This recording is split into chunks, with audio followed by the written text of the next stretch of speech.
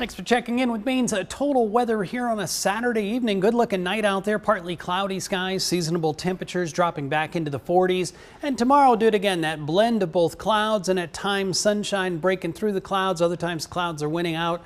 Temperatures topping out in the mid and upper 60s inland, cooler readings at the coast because of an afternoon sea breeze developing. High pressure to our north and west, ultimately in control of our weather here over the next several days.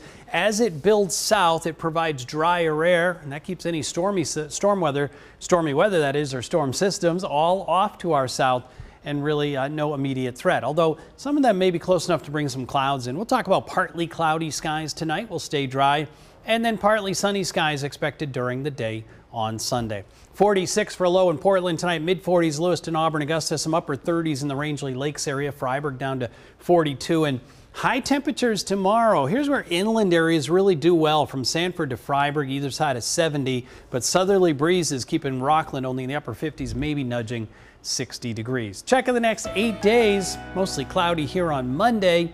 Right now, Tuesday, Wednesday, and Thursday looking good with temperatures either side of 60.